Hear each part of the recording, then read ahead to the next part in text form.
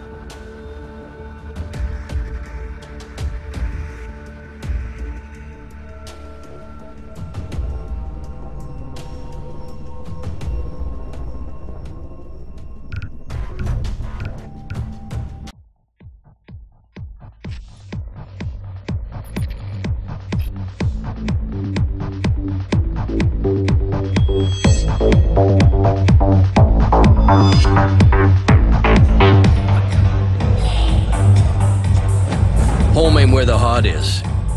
Is where they respect who you are. Well, my badge means shit now.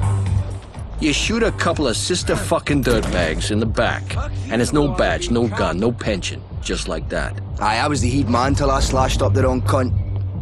Hey boy. I mate of my dad's. Their captain took me in after that. Aye, that captain. But I'm off the skag and I still got my knife in case another wrong cunt comes round. I'd still carry my M9 if I could, but crazies don't get to keep their guns. The general pulls a few strings and suddenly I have a disorder. Hell, we all have a disorder. How do you think we ended up in this shit? I had to leave.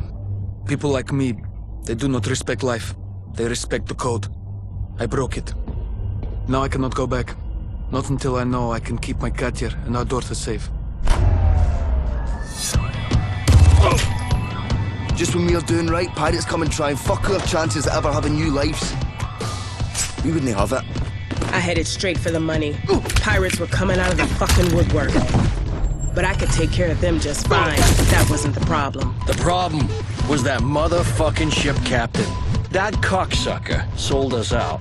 Took every ounce of cash we earned and sold the ship and every damn person on it to a bunch of candy-ass pirates. The brass neck of that cunt. Come on then, you fucking The captain was my dad's mate, our mate.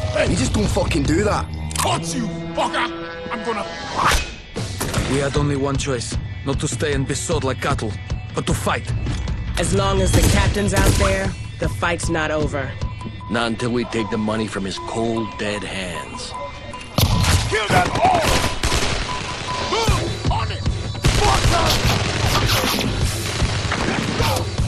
Another!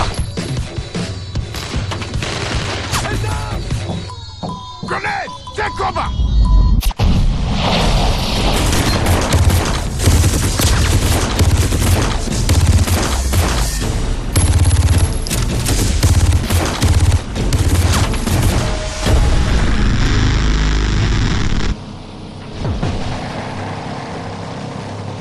Let's be on with it then.